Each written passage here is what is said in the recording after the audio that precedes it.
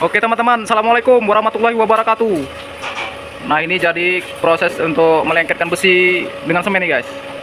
Ini menggunakan semen api Yang biasa kita gunakan untuk anti panas ya kan Di boiler Ataupun yang suhu-suhu panas. Jadi semen yang kami gunakan dengan kode ini CA16 Nih. Ini beratnya satu sak ini 25 kilo nih. Ini satu sak yang kecil nih guys 25 kilo.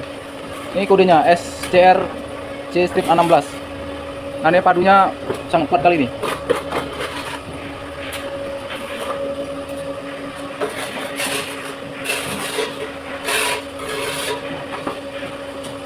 Ini tadi untuk yang dalam ini aja ini hampir udah mau tiga sak ini habisnya. Nih satu dua nah, sama itu tiga sak. Jadi ini di dalam ini pipa semua sama pas strip ini nanti akan diisi air semua ini di dalam. Nah jadi dikasihlah semen api seperti ini jadi apinya itu masuk ke dalam. Di sini nanti bahan bakar apinya atau kayu batu bara ataupun sabut sawit yang biasa digunakan dapur kecil ini sabut sawit bekas gilingan dari pabrik kelapa sawit ya. Nah di sana itu saluran penyedot uh, blower dari sana jadi apinya itu masuk ke dalam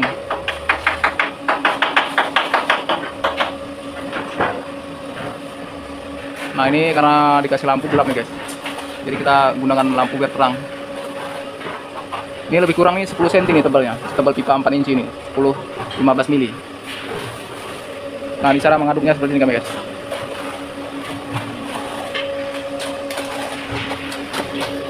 Enggak terlalu kental juga ada ya?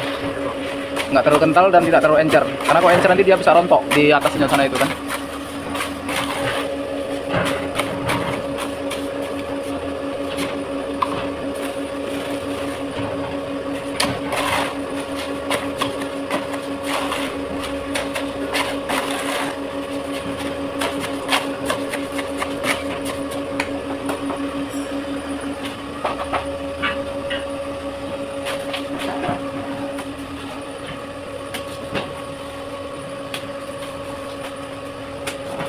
Dia langsung padat gitu kan?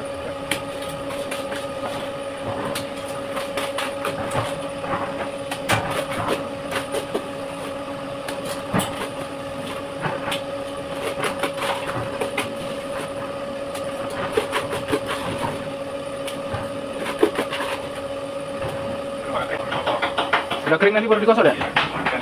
Nah, dia baru lengket gitu, jadi kalau udah lengket nanti baru bisa diratakan seperti ini. Jadi dia nggak mau rontok. Nanti kalau kita langsung kita rapikan dia bisa rontok ke bawah.